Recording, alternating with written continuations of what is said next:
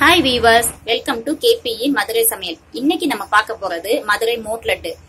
இது வந்து மைதா மாவுல செய்யற ஸ்வீட்டு சோ அதுக்கு தேவையான பொருள் என்னென்ன அப்படின்னு பார்த்துக்கலாம். வெறும் மூணே மூணு பொருள் தான். இதுக்கு வந்து ஒரு பவுல்ல நான் மைதா மாவு எடுத்து வச்சிருக்கேன். ஒரு பவுல்ல வந்து ஜீனி எடுத்து வச்சிருக்கேன். அப்புறம் இதை பொரிக்கிறதுக்கு எண்ணெய் அவ்வளவுதான். மூணே மூணு பொருள் தான். சோ வாங்க எப்படி பண்றதுன்னு பார்க்கலாம். அதுக்கு முன்னாடி இன்னில இருந்து நம்ம சேனல்ல நம்ம வீடியோ முடிஞ்சதுக்கு அப்புறம் டெய்லி ஒரு டிப்ஸ் உண்டு. சோ மறக்காம ஃபுல்லா வாட்ச் பண்ணுங்க. இப்ப வாங்க மோட் லட்டு எப்படி பண்றதுன்னு பார்க்கலாம். இப்ப நம்ம வந்து மைதா மாவை வந்து பிணைஞ்சிக்கலாம். நான் வந்து லைட்டா ஒரு சிட்டிகை உப்பு போட்டிருக்கேன். ஏன்னா இது ஸ்வீட்னால உப்பு தேவையில்லை. சோ லைட்டா ஒரு சிட்டிகை மட்டும் போட்டுக்கலாம். இப்ப நல்லா மைதா மாவை நம்ம பிணைஞ்சு பூரிக்கு பிணைவோம்ல அந்த பதத்துக்கு நம்ம பிணைஞ்சுக்கிடுவோம். இந்த பதத்துக்கு பிணைஞ்சுக்கோங்க இதை வந்து நம்ம பூரிக்கு போடுற மாதிரி குட்டி குட்டி உருண்டையா போட்டுக்கலாம்.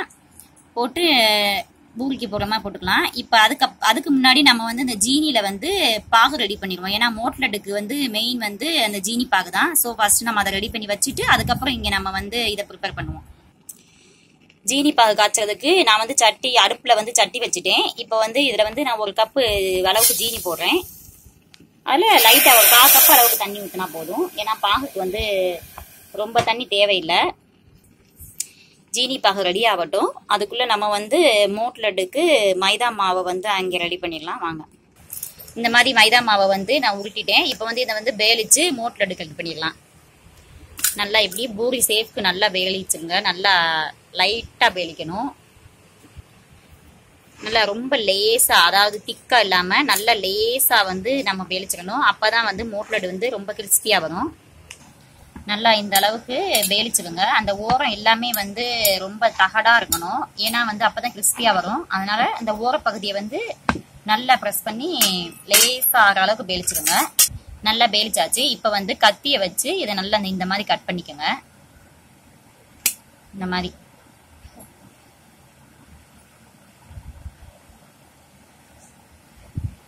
இப்படி கட் பண்ணிட்டு அதை இப்படி திருப்பி வச்சுட்டு இந்த மாதிரி கட் பண்ணிடலாம்.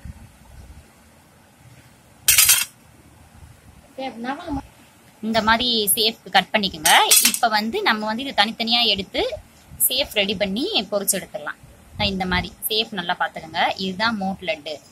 இதை எண்ணெயில் பொரிச்சு எடுத்து ஜீனி பாகில் போட்டால் மோட் லட்டு. நல்லா அந்த சேஃப் தான் மெயின் இதில். ஸோ நல்லா பார்த்துக்கோங்க. எப்படி சேஃப்னு இப்படி எடுத்துக்கோங்க. இதை இந்த சைடு மடிச்சுக்கோங்க. அப்புறம் அந்த ரெண்டு கார்னர்லையும் இப்படி மடிச்சுங்க அவ்வளோதான் இப்படி பண்ணிட்டா அவ்வளோதான் மோட் லட்டு. இப்படி எல்லாத்தையுமே பண்ணிவிட்டு நம்ம வந்து இதை வந்து எண்ணெயில் பொரிச்சு எடுத்துடலாம்.